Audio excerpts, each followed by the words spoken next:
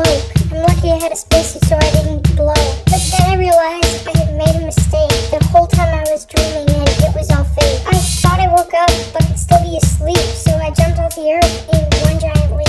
I tried to at least and flew into space. I knew I was dreaming because gravity I didn't face.